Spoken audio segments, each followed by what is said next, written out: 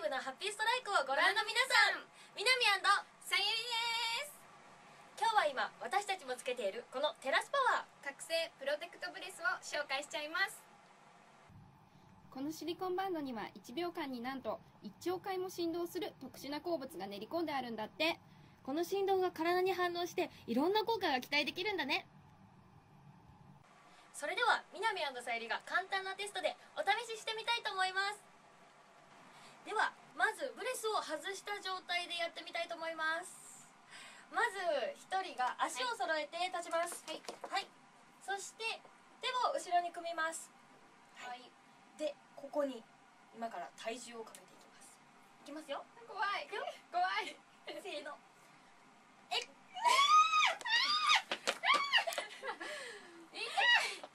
倒れるよねそりゃそうだよねそれではブレスをつけてやってみたいと思います。はい。お願いします。OK いくよ。はい。せーの本当だすごっあ全然倒れないえ倒れない本当にえすごいえ全然全然いけるいけるまだいけるよ本当に倒れないいけるすごいスポーツ選手の方も愛用してるんだって皆さんもぜひ試してみてねそれでは南さゆりでしたバイババイバイ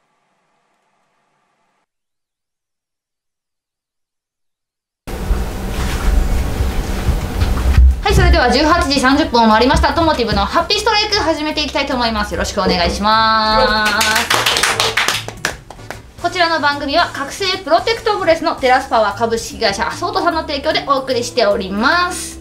はい、それでは本日のゲストさんご紹介しましょう。シンガーの木村ねるさんとくにさんに来ていただいてます。よろしくお願いします。まあ、今日はね真ん中がとっても華やかでそしてくにさんが全然いつもと雰囲気が違うというこ違とでう。いつもと違う。はい、一応キャラ変えようかと。キャラ変。あのこのこのあれに関しては。キャラ変でキャラ変えようかなはい。というわけですね。あの衣装もとても今日は素敵な衣装を着てらっしゃるんですけれども、えー木村ねるさんは、えっとシンガーという形で。はい、はい。えっと静岡県内で活動中でいいんですかね。はい、そうです。出身で。はい。大体いつもライブとかはどの辺でやる感じですかね。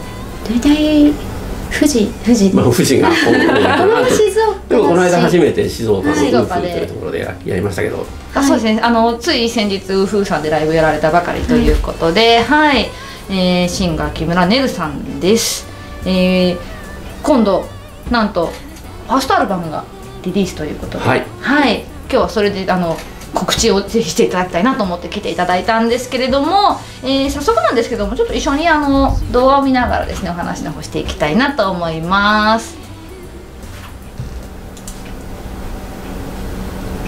はいこちら動画の方流れております。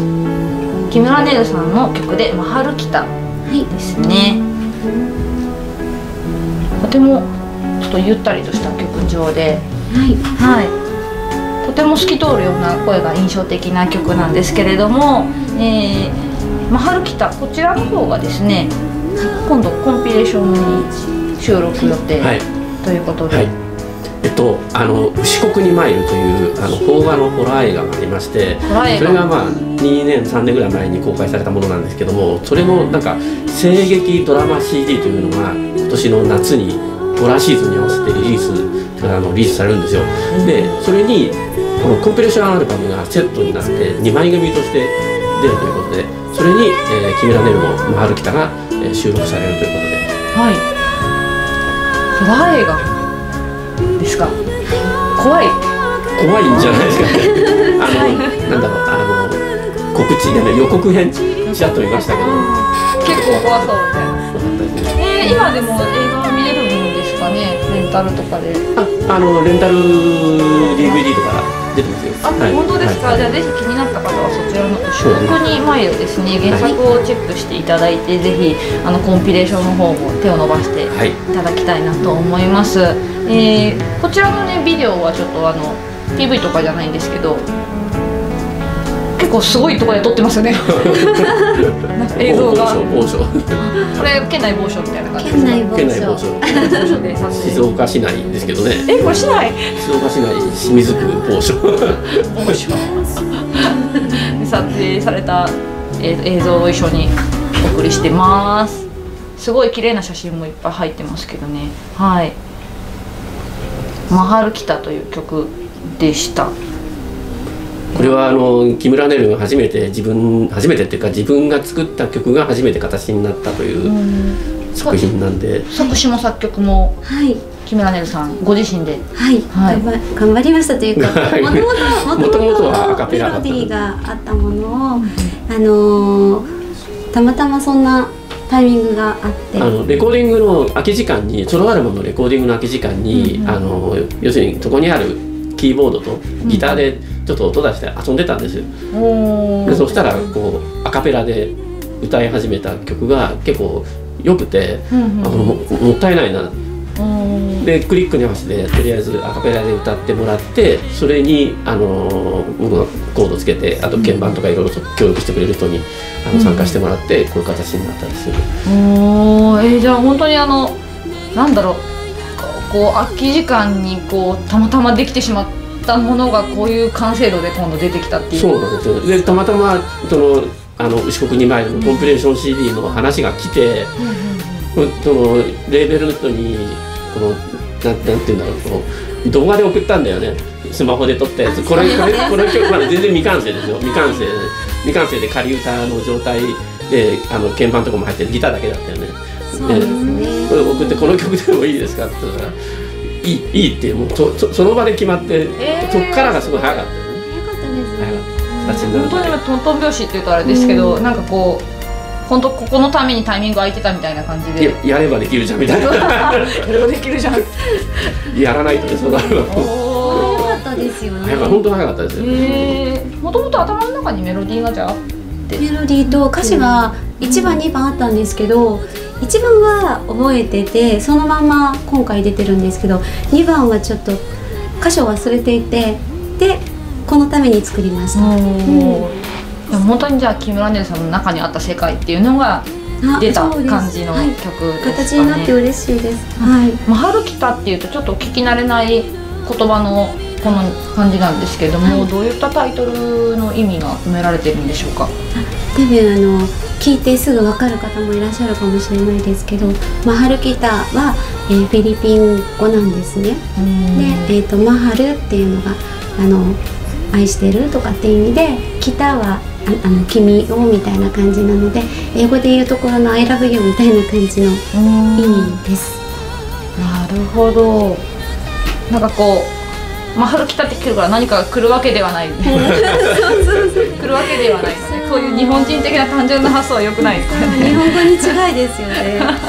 あでも聞き慣れない感じなんですけどなんとなくそうやってこうタイトルの意味を聞くとああなるほどなっていうような気がすごくしますね、はい、こちら映画「牛国にマイル」のドラマ CD のコンピレーションに収録ということで夏頃リリース予定はい、はい、コンピレーションということで他のアーティストさんの参加もあるかもしれない、ね。ということなんですけど、まあ、詳細は後日少しずつごご期待。されるんじゃないかと されるんじゃない。かはい。というわけなので、はい、ぜひあの皆様お手に取ってください。それでは引き続きですねあのもう一曲動画の方をはい。流していきたいと思います。こちらは「ネルシア」という曲になってますまたさっきの「マハルキタ」とは違ったイメージのイントロで始まる曲なんですけれどもすごい物語があるようなイメージだったんですけれどもはい。そうですね。歌詞の中にねそうですね物語空想の物語ですけど、はい、メルシアっていう、まあ、姫がいてその王国を守ってるっていうようなそんな内容ですかね。はい、すごいこうなんかちょっとファンタジー要素もあるような歌詞が印象的だなっていうふうに思ったんですけれども。なかなかこういう三拍子の曲ってなかなかななんていうかあんまりないない僕らのミュージックの中でこうあまりないのでそれで結構逆にこうパッと聴いた時にこう耳に残るっていうかそういう曲じゃないかなとちょっとこうなんかワールドミュージックっぽい感じそうそうですね。テイストが入っててすごい。私個人的にはすごく好きだなと思って聞いてたんですけれども。これが今作ってるソロアルバムの中で結構重要な位置づけになる曲でなのではないかということで。こうなんかね。タイトルからしてもこうネルシアってくるとこうネルさんのこの世界っていうのがそれだけで表現されるようなイメージがちょっとしてるしてます。ありがとうございますはい、えーこちらはネルシアという曲になってます。それこそそのアルバムファーストアルバムが、えータイトルはもう決まってるんですよね。はいタイトルは「Who Am I」というタイトルの、えーアルバムフルフルアルバムっていうんですかねこのアルバム。はい、えー今絶賛レコーディング絶賛制作中はい。結構長くかかってますけどそれだけまあなかなかこうこだわるところはこだわってっていうかこうなんていうの変なところ妥協したくないっていう気持ちが強いのでまあ長くかかってるということですね。はい。初のアルバムなのでもう本当にね妥協したくないという気持ちはすっごくあるあると思いますあの本当に木村ネイルをギュッと詰め込んだ一枚になるかなと思うんですけれども「ふが甘い」っていうと「私は誰?」みたいなあそうで感すじですかね、はい。うん、問いかけのタイトルなんですけれども、あの曲としてはこうやっぱいろんな今ね2曲聴いた中でもやっぱテイストがちょっと違う曲があったりするんですけどもい。ろんなテイストの曲を入れていくい形や幅が広すぎて。幅広すぎて。幅が広いでねあの、えっと、木村ネルのフェイスブックにちょこちょここうサンプルっていうか、うん。本当にちょっとだけですけどあのアップされてるものがあるんですけどそれ聞いただけでもこうバラバラド調の曲もあれば、なんていうのこうアップちょっとアップテンポな明るい曲もありのなんかこうなんていうのハードでハードだけどちょっとなんテクノっぽいような曲もあったりとか、なんかすごいこう幅が広いですね。一つのジャンルにとらわれない一とら枚われないですね。本当にいざいろんな楽曲が入っているということでファンの方はとてもね楽しみにされてるかと思います。ファーストアルバム「フーアムアイが、えー今年発売予定。秋秋秋かな。秋に間に合う。秋。間に合わせたい、まああのコンプレッションアルバムが夏にその出るんであればやっぱ秋には出したいなと。おー。両方ともこの2曲両方とも入ります？えっとマハルキタはちょっと違うバージョンでおお入りまあ今の流れたのとまた違うバージョンす。違うバージョンです。だかへらーそのこのバージョンのマハルキタはそのコンピレーションアルバムでしか手に入らない。うまいなうまいな商売前それさすがだわ というわけなので皆さんこれコンピも買うしかなくなってしまいましたねそうそうですね。はい買ってほしいですね。はいあの両方ですねえー、そうすると今後のライブでもこう2バージョン出来上がるってことそれがですよね。ねどうどうなるのかまだちょっとライブもうあんま俺しゃべっちゃってばっかであれだけどあの木村ネルとしてのライブはまだ1回しかちゃんとしたライブやってないのでちょっとライブの形態もいろいろ模索中っていうかあれなのでうーん。どんな形にななるのか。でもあれですねあのアルバムバージョンとライブバージョンちょっと違う形でそう今だね。ちょっと違うんですね。また全然違うんだ。もうジャンルが幅広すぎるので、なかなかこうバンドでやるって言ってもバンドでも難しいしでオケだけっていうと、うん。オケだけだとそれもちょっとなんか違うなっていう形なので、うん。ただやっぱライブはライブなりなりのちょっとなんていうのかなそういう面白さっていうか、聞き聞き応え見応えがあるような感じにしていかないとということで。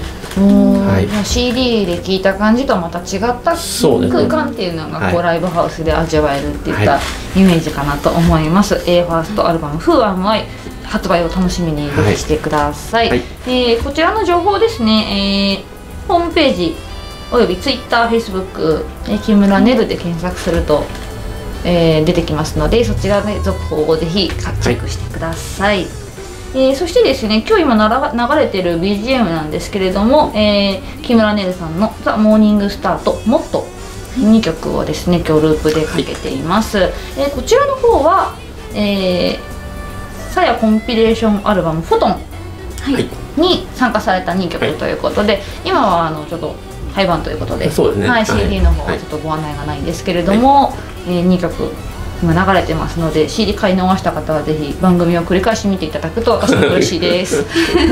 まあ、ライブ会場来るとちょっといいことあるかもしれないああ本当でですか？ライブ会場じゃあぜひ行ってライブ会場来るといいことある。うん いいことある。はい。ここライブ会場でこういうもん持って。るそうそう今日ねここがねギャラリー化してるんですけど。あのこれ全部木村ねるさんが描かれたはい。イラストということで。はい。あのすごいです。あのこういうのもじゃあライブ会場で販売。そうですね。はい。あのはいそうポスです。ポストカード。ポストカード。はい。えー、すごいですね。なんか私個性的だよね見れないんだよちょうど。よいしょ。すごいですよね。こういろんなテイストの絵があるんですけれどもちょっとポップなものからちょっとあのなんだろう綺麗なイラストまで揃ってるんですけれどもすごいですね。なんか本当いろんなものをマルチだね。マルチですね。マルチな才能を持つ女みたいな感じですけどイラスト昔からイラスト描かれて。はい大好きです。ちょっとこれはあのプリントしたものなのでちっちゃいですけど、本当のもの原画はもっと大きい。はい、えー、あすごいですね。もういろんなこう本当に線もすごい綺麗で細かくて。ともちゃんもイラスト描くからね。そうそうですね。私ねイラストが私のはどっちかっていうと本当漫画っていう感じなので全然テイストがねやっぱ違うのでこういうのを描ける人は本当すげえなと思っていつも見てます。すごいです。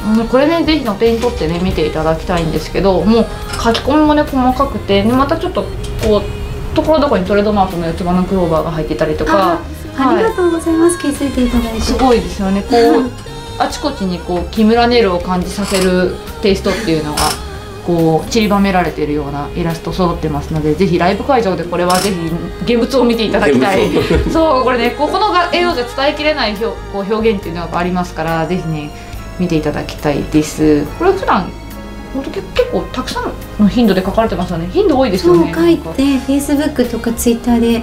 Twitter 上がってますよね。上げるかな、うん Facebook Facebook よく上げてますね、はいでも本当すごい頻度で書いてるなと思って 見てるんですよ。絵好きなんで余計そうなんですけどすごいすごいです。よもう本当にね繊細な表現されてるのでねぜひ本当に生で見てほしいこれは。うん。ぜひ見てください。はい。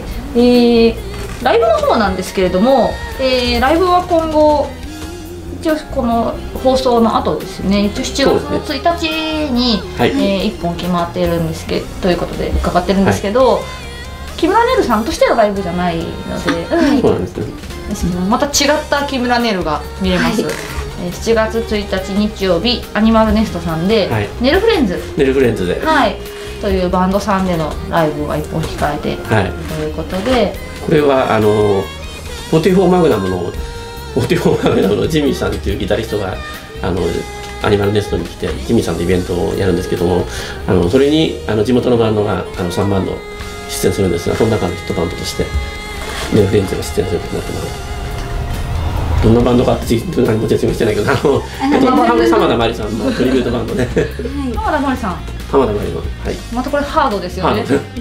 なんで今本当に流れてる曲とは全然またイメージが全然違うと思うんですけど。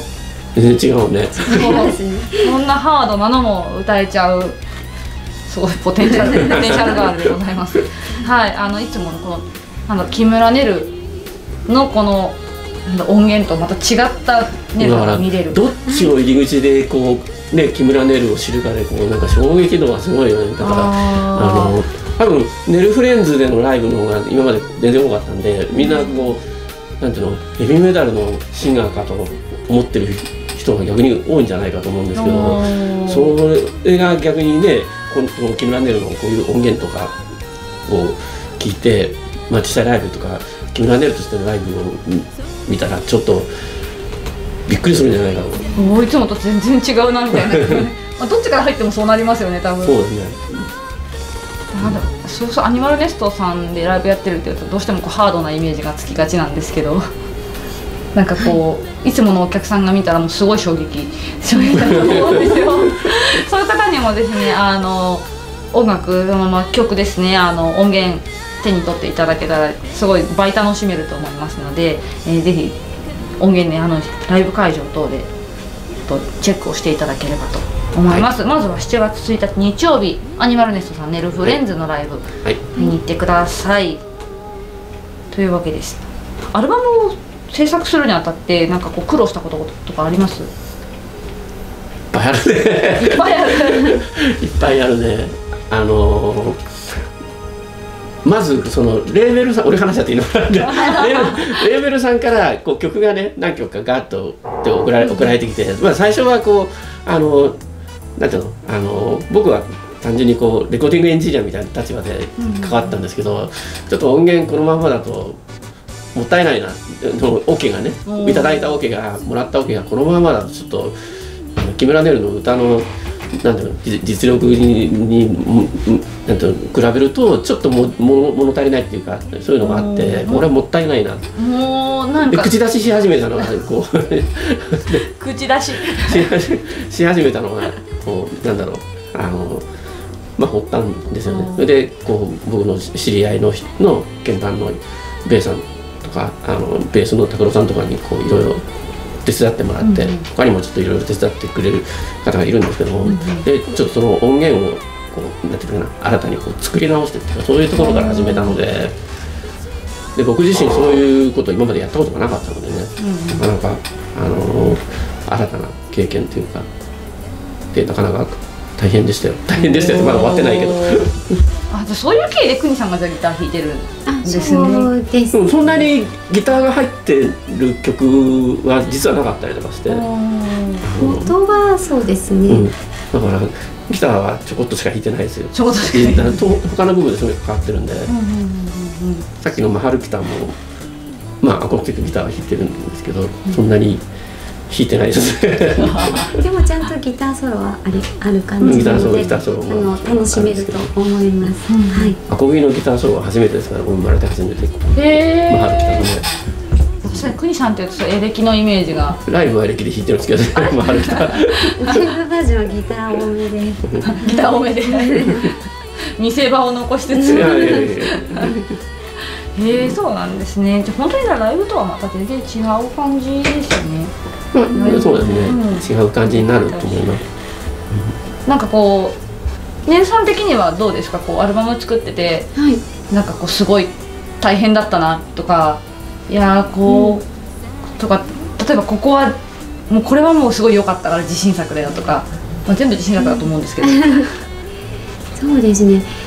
例えば、えーまあ、マハルギターじゃなくて、えっと、ネルシアとかは、ややっぱレーベルさんの方から、えー何回かに分けて音源が送られてきて、だからだんだんこれはなんだろう初めの音源とだんだんちょっとずつ変わってったんですけど、やっぱりネルシアは初めて聴いた時からあすごいいい曲だなと思って、でもなんかこれはもうちゃんと自分のものにしようって思ったりしてネルシアですね最初はあのあれだよね。キーキーとかがあの曲がまずうん。キーキーを彼女の木村ネルのキーに合わせるところからこうそこの時は僕は関わってないんですけどなんかそういうレベルでやる時がねあ。のあ。結構あったみたいで、うん。そうですね。じゃあ本当いろんな人とこう協力してのまあ、相当いろんな人関わってるんだと思うんで、曲書いてる人はだからあのレベルがのの多分ブレブレーンの人が書いてるんだと思うんですけど多分いろんな人が抱えてるんだろうし、あの関わってる人すごいですね 大勢の人が。うん本当にねもういろんな人の力が合わさって出来上がる一枚になりそうな予感がしてます。はい。なんかこうだんだんでもあれですよね曲がこう最初スタートの段階からこうだんだんだんだんこう自分の歌として出来上がっていくっていうのはすごいなんか楽しい気持ちになるかなっていうのは自分も歌う歌うので思うんですけどはいこう変化の面っていうのはあだから喧嘩とかしなかったですよなんかこうこうじゃないよみたいないやあそういうことはない。結構あのなんボーカルのレコーディングに対するこうジャッジメントっていうかねこれは OK だけどこれはダメっていうのが僕よりも彼女の方が厳しいんですよ自分の歌に関して。めちゃくちゃ厳しい。僕俺はこれこのぐらいで十分かなと思っても全然納得してなかったりとかってことはすごいたくさんありましたね。そう。なんかそうレコーディングしたらダメだ今日。30点みたいな。そうそうそう。30点。全然僕より全然厳しいよね。30点。あったら取り直す？今日はダメだって感じです、ね、その日ダメな諦めちゃう。で曲作りの方に曲曲の構成作りとかしますね。その日は歌レコーディングじゃなくて。そういうのがあって、まあ、春来たバレたかもしれないしあーなるほど、ね、今日はダメだとかって。あじゃあ曲作ろうみたいな。うん。ちょっと息抜きしてたらあそうそうそうそう。いいのできちゃったよみたいな。鍵盤を置いてくださったんですよねそうそう国さんが。最初はななかったんだけど。なかったけどギターだけだったんですけど私説明するのになんか音出した方がいい音を出した方がいいって言って鍵盤を置いてくださってそのうち遊び始めたんですよね私が鍵盤を弾いて。へえあ姉さんは他の楽器もやられるんですか？ちそんなにあのやったことあるのはちょっとだけうん趣味でギターを動画でギターー弾いてるしそう動画でギター弾いてるからそうギターギター弾くのかなと思って。なんかいつか弾き語りでやる日が来るのかなとか一瞬ちょっとちらっと思ったんですけど。やってみたいですねうんやればいいと思う。やればいいと思いますちょっと寂しそうですけど。いやいややればいいと思う本当にだって俺だって人が やるやらされてる。沢田。うん。とかね。あそうそうそうでしたよね。某イベントで YouTube でねこれまあ全然話話外れちゃうけど YouTube でねあの僕のその弾き語りの動画をけ けどうやって検索するかわかんないけど検索するとすごい人と一緒にやってるのがいろいろ出てきてちょっとか勘弁してほしいみたいな弾き語りでクニさんの弾き語りもぜひ YouTube で。YouTube 自分のところにはないですよ。あ自分のとこにはにはない。探すと出てくるんですね。いろんなとこから出てくる。あー。えー残り5分となりましたので、えーエンディングテーマですね。シェイプレスさんの「バトル・ウィズ・マイ・セルフ」でお送りしております。こちらもぜひシェイプレスさんの、えー SNS とチェックしてください。あっという間にあと5分です。なんかこれだけは言っとかなければとかあればない。ですか何なんかこれだけは言ってこれだきたい。けはまあまあまあそうです CD ができたら皆さんあのライブに来て買ってください。買ってください。ってい。うかライブを楽しんでもらってそれでなんかこうい。い。なと思ったら CD 買って、えーこうねそうい。うイラストもい。い。なと思ったらね買ってお持ち帰りい。ただい。て、うんぜひ家に。他にも一般できたらいいよね。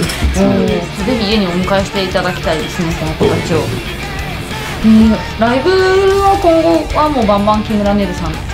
えっととして。あのこの「牛国に参る」のコンプレーション CD があのリリースする頃からちょっとやらないやろうと考えてますけど、うんうん。とりあえずこのまでやったらレコーディングもしない。といけない。の で途中じゃあそのうちじゃあファーストアルバム「フーアマイ」を引っ提げてのツアーというかそうだね。ライブうん。ライブ三昧になるかもしれない。うん。ということで、えー SNS ですね。先ほども言いましたけど SNS ホームページぜひとじゃあライブ情報とかも出るということで、えーホームページが https コロンスラッシュスラッシュ木村ハですね。こちらの方がホームページになっています。で TwitterFacebook 木村ネルで検索するとネルさんも出てきますね。出てきますから、ぜひそちらの方をチェックしてください、まあ、Facebook はファンサイトみたいな感じであそうですね、えー、と普通にほとんど公開ですけど、えーお友達申請の方っていうのは、えー、と実際に面識のある方だけ承認させていただいている形にはなりますけれどもあの見ることはできますのでよかったじゃあら覗いてくだ。さい。こうライブやり始めたらライブ来てもらって、ライブで見たよとかっていうのは多分承認してもらうんじゃないかじゃあお顔見てぜひねあの交換じゃないけど、ねお友達とかにはいなって、はい、木村ねるの輪を。輪を。広げていっていただきたいなと思います。いやーなんかでも本当にあの歌歌声の説得力っていうのがやっぱすごくあるなっていう印象なので、もうぜひ生で本当聞いていただきたいと思いますので、はい、あの YouTube とかでも今後動画とか上がるんでしょうか？YouTube まあ、YouTube, YouTube で探してもなんか出てくるよね。なんか出てくる。ネルフレンズの、ね、映像とかもあるたりとか。あいいですね。じゃあぜひネルフレンズの動画もねちょうどライブもありこの木村ネルの木村ネルで YouTube 検索してくれれば出てくるんじゃないかと、ネルの音楽の手帳っていうのがあります。ああります。自分のチャンネルというかというか、まあ、ぜひあのちょっと木村ネルで検索したら出る。出てきますね。出てきます。ねで YouTube の方ぜひ木村ネルで検索して、えー見てライブの方に行ってください。はい。はい。じゃあそれでは最後にぜひお一言ずつですねあの動画を見ていただいている方々に一言メッセージとかがあればお願いします えっとまああの頑張って木村ネルの作品を作ってるんであのぜひあの耳にして、えっと、ライブに来ていただけたらと思います。はい。頑張ります。はい、えーこれから、えー、と一生懸命、えーますます頑張りたいと思いますのでぜひ皆さん、えーお会いしましょう。よろしくお願いします。ということでえー本日のトモティブのハッピーストライク、えーゲストは木村ねるさんとくにさんにはい。お越しいただきました、またアルバム発売の際はねぜひ告知なんかもしていただければと思います。今日は本当にありがとうございましたありがとうございました。トモティブのハッピーストライク。また再来週お会いしましょう